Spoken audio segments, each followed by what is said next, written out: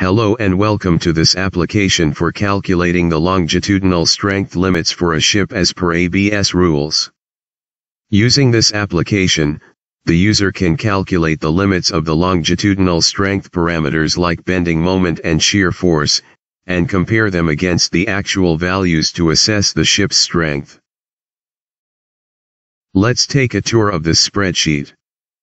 This is the welcome page which give the instructions on using the spreadsheet and provides references. Next is the inputs sheet in which the ship's dimensions and longitudinal strength parameters are to be input by the user. With the inputs provided, an applicability check as per ABS is performed. Next is the outputs of wave bending moment and shear force which are calculated as per ABS rules, and the respective distribution factors are calculated from their curves.